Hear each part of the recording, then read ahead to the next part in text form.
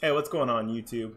Today, I'm looking at three different Prank Kids builds that I want to show you guys, depending on um, the format and how the meta shapes up, maybe even with the new ban list. Hopefully, one of these cards will get hit, and I won't be able to play it in Prank Kids. That is Mystic Mine. And we're also looking at a good number of Prank Kids combos, as you can see from the top at the Dueling Book replay. So, let's go ahead and get on into it. And if you do enjoy today's video, please feel free to subscribe to my YouTube channel and give me other deck ideas of what to play. Uh, because when I get back into real Yu-Gi-Oh, not just Duel Links, I do want to know a lot of decks and uh, know the playlines for a lot of decks, so I know where to hand trap them and all that good stuff. And without further ado, let's go ahead and get right on into it.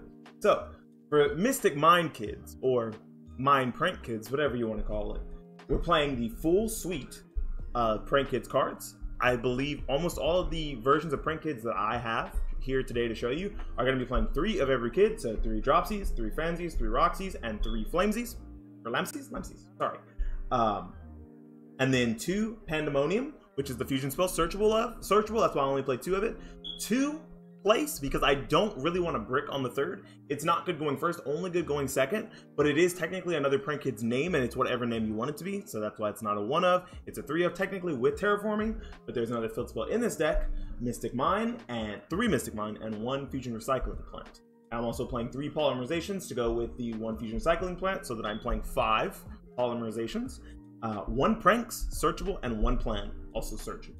Uh, the one ofs we are playing Instant Fusion because this makes Rocket Ride, and Rocket Ride's just broken. And we're playing one Called by the Grave, Called by the Grave. No need to mention it. I think this card should also be banned.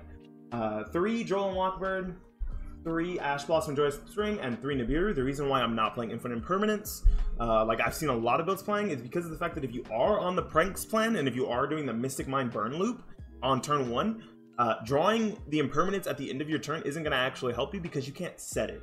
So instead of playing um, Impermanent Impermanences, I just decide to put in Droll Locks in the main, and I have the exact same sideboard for all of my um, versions of the deck, and Effect Veiler is in the side. Maybe in this version of the deck, I would put Effect Veilers in the main, and take the um, Droll Locks and put them in the side. But I'll show you guys the Mystic Mine. I'll show you guys all the combos in a bit, and we'll start with the Mystic Mine combo if I remember where I put it. You guys can see that one first. It's probably the most interesting of all the combos I have. I also have a two-card access card comp access code talker combo, or three cards if you need the pop off of Unicorn first. It's pretty sick. Uh, let's go ahead and get into Hand Trap Kit.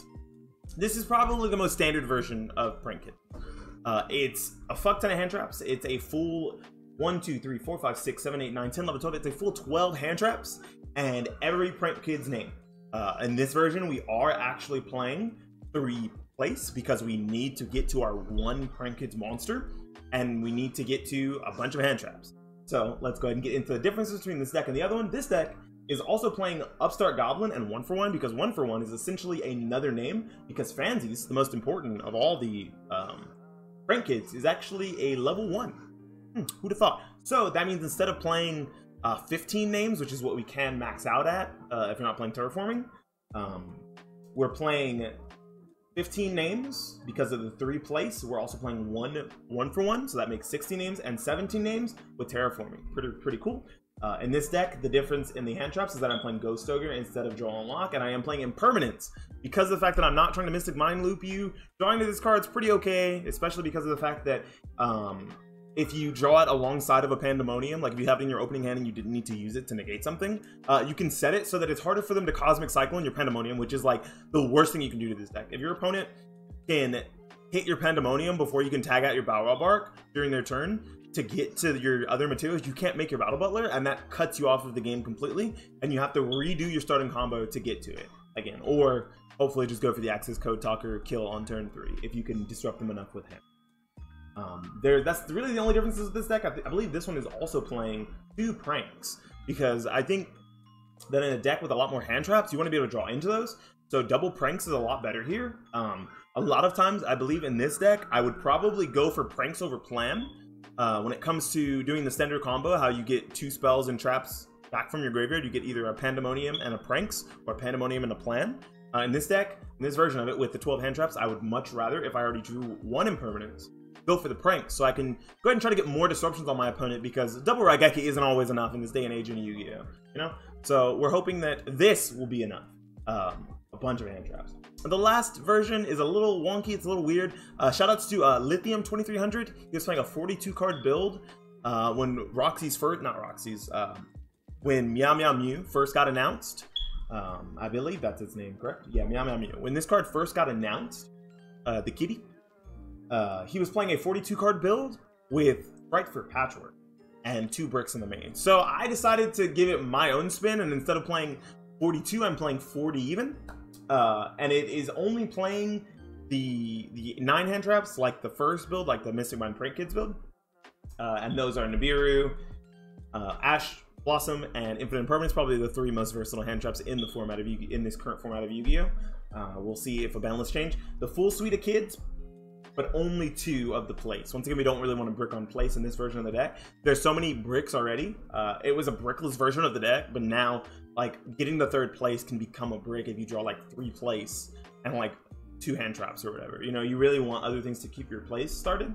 Um, and we're also playing two Pot of Avarice as Spice in the main deck, especially because we're playing um, we're playing the Patchwork. And Patchwork is going to get us to an Edge Imp Sabers to be your discard for Rocksies, so that you're not discarding an actual card, you're discarding something that's...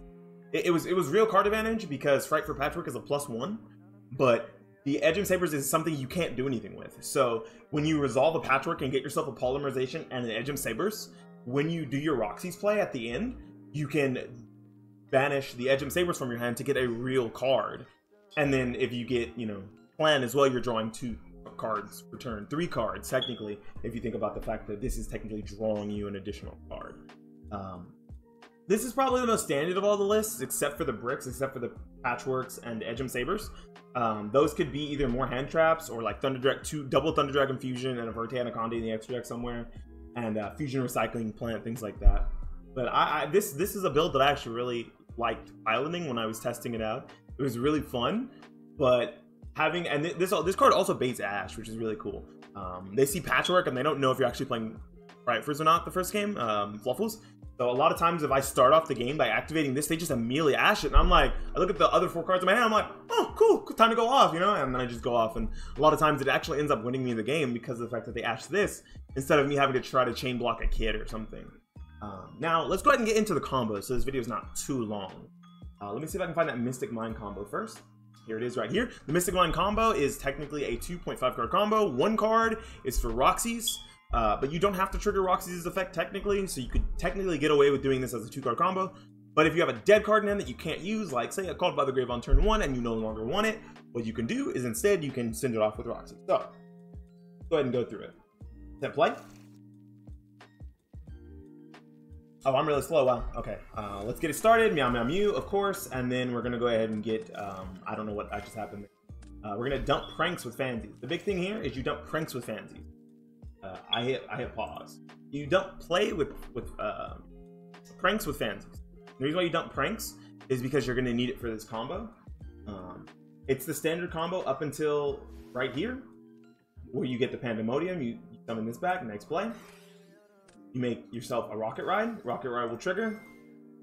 You also burn them for 500 with that fansies earlier. Please remember that. You also gained a thousand with uh, with with dropsies. Please remember that. There it goes. Bringing back the do do and bringing back this. Then you send these two off for Bow Wow Bark. Then you activate this effect. Get back Pandemonium, and to get back Pranks. Then you banish that to draw into a hand trap. Ooh, probably not a good hand trap, but then you activate the Mystic Mine. Now here you have one monster, and then it's soon, and then you also get a second draw here.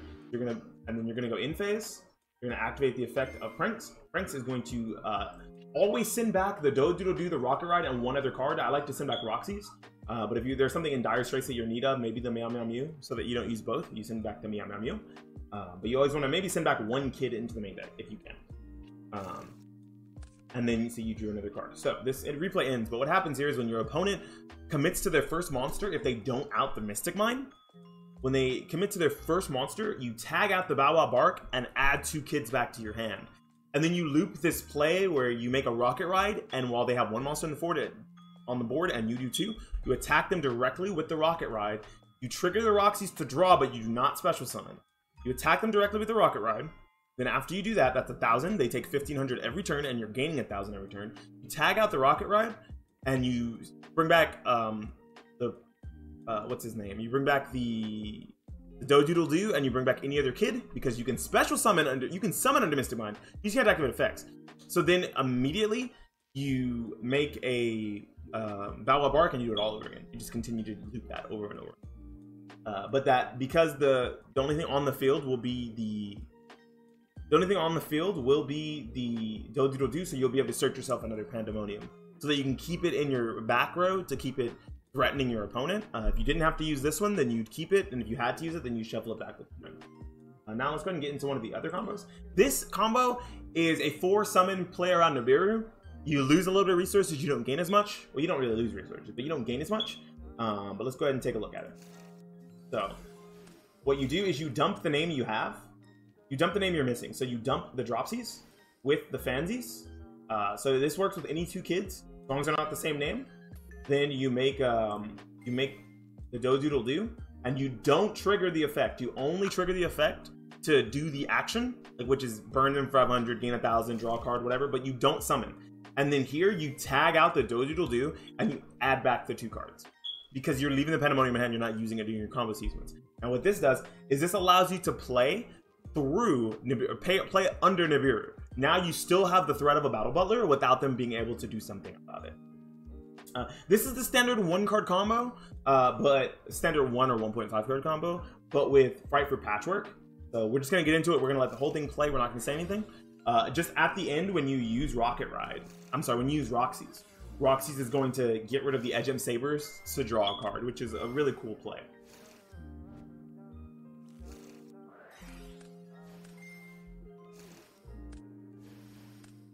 It's just the standard Prank Kids play, so I don't think I really need to explain too much about it. Uh, there's tons of YouTube videos on this play, but all you're doing is you're getting rid of the Edge Imp card to draw an additional card. And look at that. Bada bing, bada boom. The normal play, you end up with one, two, three, four, five, six cards. So it's a plus one. Really, really good. One, two, three, four. Yeah. Pretty good, pretty good, pretty good. Uh, and then here is the totally awesome play. It requires two kids non-water and a water. So you need three kids in hand and a, and a fusion spell. We're going to show you with Frightfur Patchwork because I am playing Patchwork in the deck, so it's pretty cool. You're going to poly here. You're going to poly here, right here. You're going to make Rocket Ride. Rocket Ride is going to activate its effect. Then you're going to activate the effect of both the kids in the graveyard to dump something, probably plan, and then to draw and then you're going to make totally awesome. Then you're going to normal summon your kid and go in for your standard play. Kid will go ahead and summon one that you haven't yet, which is Lampsies.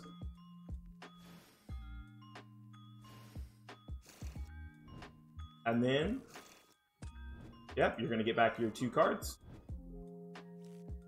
And then you're going to tribute off the Rocket Ride. Oops. Pardon me. You're going to tribute off the Rocket Ride. Get back two and make yourself a Bow Bark. Bow Bark will get back the other two cards during your opponent's in. I'm sorry, during your opponent's turn, you'll get back the other two cards. I forgot to get back that card off of um, the the monster, the uh, Dodoodle Doo. You'll have to pardon me. And then here is probably my favorite combo. This is the two card or three card. Um, you specifically need two pranks uh, because you need a discardable prank kid card for prank kids pranks to uh, make access code talker. So let's just go ahead and get into it. Right here, you're to dump Pranks. Or do you dump Pandemonium? I think you dump, I'm dumping Pandemonium because I would still want to be able to have access to it if I need it. And then you're to search Pranks off of Dodoodle Doo. The special. Nice. And then you're to search Pranks. Then you're to activate the effect. If you had actually used Rocksies during this combo sequence, you would actually have to trade this card off in my hand for another one. We're going to activate that to discard. Then we're going to make Access Code Talker, activate its effect, gain some attack, and if we look at our graveyard, we have one, two, three different attributes in our graveyard. So that means we can get three pops and then swing in with the Access Code Talker for the win. I think this uh, has been a pretty interesting YouTube video. I'm kind of bad at YouTube. I'm not like the best. So if you if you like my content and you want to support, please feel free to hit that subscribe button, call to action again at the end of the video too, right? So uh, feel free to hit subscribe. Ask me about other Yu-Gi-Oh decks. Maybe there's another deck that I can think to make. I will probably start streaming this deck, one of these variants. I don't know which one. Maybe all three. Uh, doing some Dueling Book rated on uh, Twitch.tv slash Beanie Thuggish, and it's been Beanie Thuggish. we'll see you guys later. Y'all have a good day. Take care. Peace.